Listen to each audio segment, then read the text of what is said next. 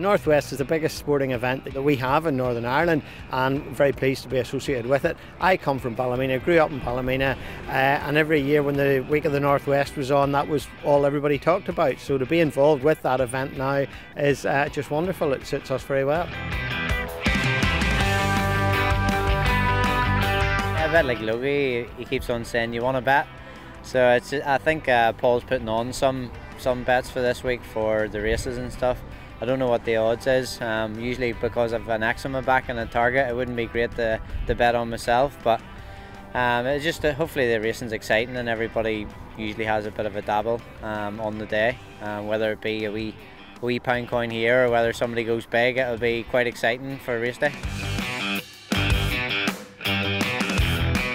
For the last couple of years, we've been uh, doing a wee bit of sponsorship with Alastair. Uh, I met him at a motorcycle awards thing, and we just seemed to click. And uh, I like the way I like the way he gets on. He's a nice guy, and so we've just each year continued on with uh, the relationship. Last year we sponsored a race, and thankfully he won our race, which was was marvelous.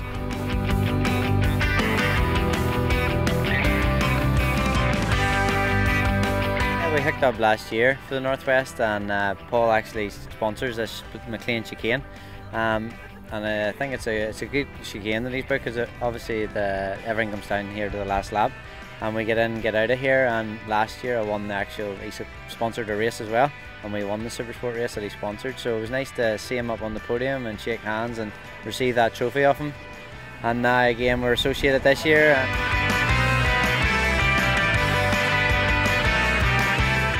Everybody knows coming down into here last lap. It's more or less the last do or die manoeuvre to get in here and most of the time whoever leads out of this chicane uh, is the one that wins the race